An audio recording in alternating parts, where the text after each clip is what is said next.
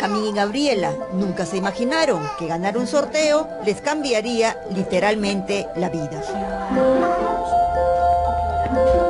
La felicidad llamó a la puerta de su casa al saber que pronto llegaría a sus vidas ese hijo que siempre buscaron. Salí sorteado con el premio, el premio mayor, que era una fecundación in vitro gratis.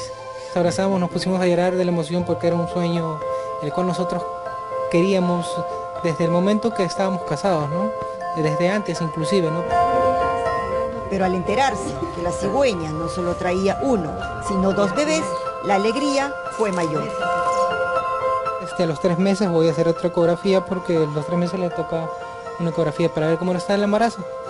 Y es ahí que me entero que eran dos, que yo estaba a unos 10 metros del, del monitor de la pantalla me paré corriendo inmediatamente y puse mi cara en el televisor para ver dónde están los dos.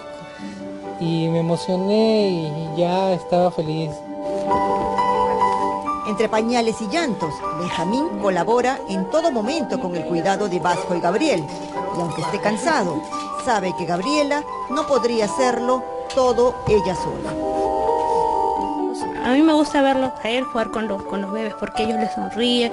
Mi esposo llega, les habla, ellos voltean la mirada, los buscan. ¿Se levanta Benjamín este, a, las buenas o renegando? A veces a las buenas, a veces lo, renegando, lo tengo que levantar.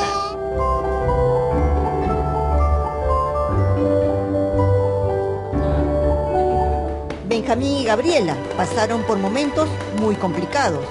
No eran una pareja fértil al igual que muchas en el Perú. Pero gracias a la ciencia, esta realidad se pudo cambiar. Tenemos varios métodos, el más simple se llama inseminación intrauterina, consiste en preparar y seleccionar el esperma y colocarlo dentro del útero de manera que este esperma seleccionado, capacitado y mejorado puede tener más posibilidades de lograr éxito de tener un embarazo al colocarlo de esta manera dentro del útero de la dama que previamente ha sido preparada para que ovule, para que tenga buena cantidad de huevitos como en el caso de Benjamín y Gabriela. La vida les ha dado esta bendición. Benjamín sabe que es una gran responsabilidad.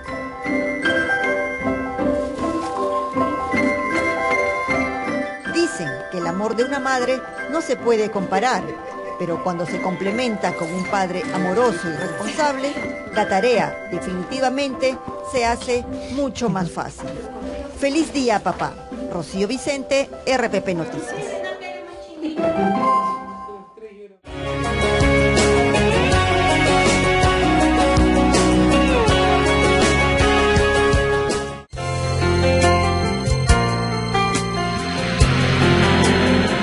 Todos podemos alcanzar la felicidad.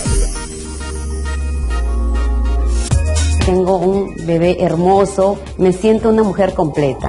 El motivo de mi vida, de mi esposo y mía y de toda la familia. Haber cumplido el sueño de ser madre. Con los mejores especialistas y la más avanzada tecnología. Clínica de fertilidad. Procrear